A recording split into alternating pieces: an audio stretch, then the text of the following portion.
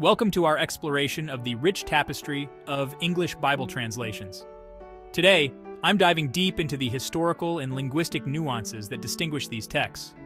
Let's start our journey with the King James Version, or KJV.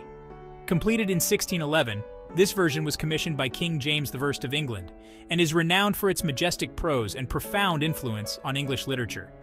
The translators aimed to create a Bible that was not only accurate, but also resonant and poetic. But as the English language evolved, the need for more accessible translations emerged. Enter the New International Version, or NIV, first published in 1978. This translation sought to balance readability with fidelity, using contemporary English to reach a broader audience. Its clear, straightforward language makes it one of the most popular Bible versions today. Another notable translation is the English Standard Version, or ESV. Released in 2001, the ESV is a revision of the Revised Standard Version. It adheres to an essentially literal translation philosophy, aiming to be transparent to the original text while maintaining literary excellence. Now, let's consider the new Revised Standard Version, or NRSV. This version, which debuted in 1989, is notable for its inclusivity and use of gender-neutral language when the original texts allow.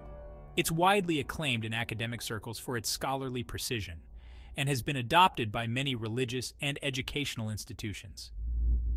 Each of these translations offers a unique lens through which to view the biblical texts.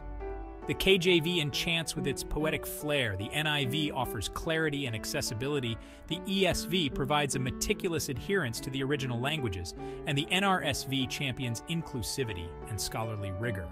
As scholars, it's crucial to understand these distinctions not only on a textual level, but also in their historical and cultural contexts.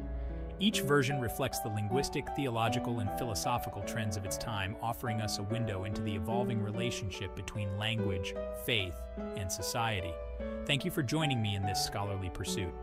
Whether you're a theologian, historian, linguist, or simply a curious mind, I hope this exploration enriches your understanding of these pivotal texts in the tapestry of English literature and religious study.